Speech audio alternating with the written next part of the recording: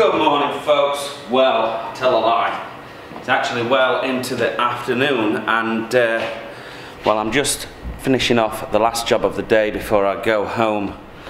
As you can tell yesterday I obviously went out in the afternoon and got a little bit tipsy uh, but that didn't really affect me this morning so I came into work uh, just after 9 o'clock and well we started to tidy the whole brewery whilst Gemma helped me get the last couple of beers out the tank. So we batched uh, we casked a batch of uh, Harrison's Pale and we finally got the red stroke brown centennial IPA out the tank.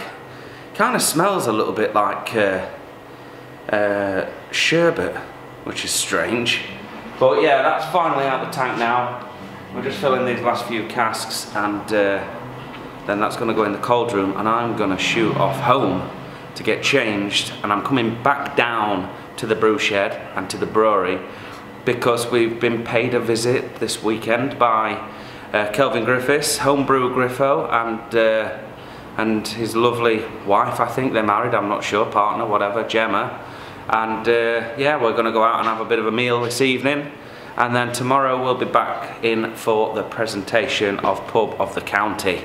So that's going to be a good thing and I'm going to have to be prepared and rested for that no doubt.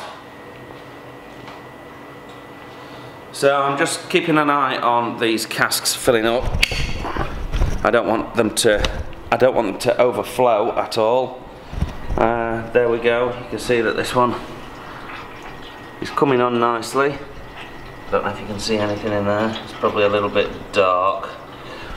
Uh, but I think I've got enough time to just quickly give you a tour of the brewery. You can see all the clutter has gone, all the sides have been cleaned down, we've wiped down all the work surfaces.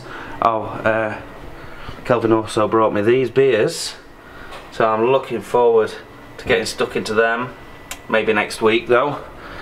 Uh, we've got the new Cold room conditioning room 4 is fixed, so we've got the new beers going in there today.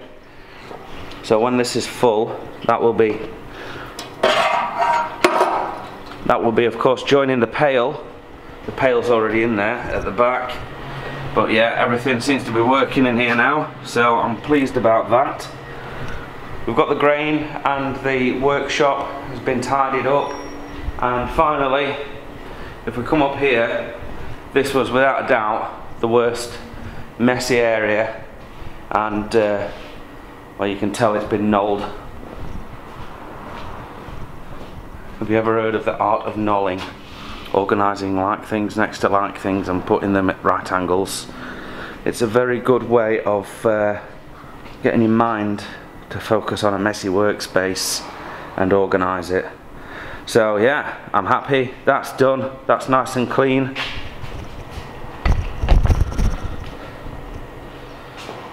just just another 15 to 20 minutes here and I'll be shooting off home. So that's all we're going to do for today's vlog just a brief one. I'll try and pick up as much footage as possible tomorrow of course for the presentation get in and uh, that'll be up on YouTube uh, as and when I get around to editing it. So thanks for tuning in folks. I'm going to bugger off and we will see you tomorrow. Cheers